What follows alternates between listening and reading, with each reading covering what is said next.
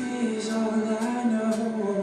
How could I have made mistakes? Is there something more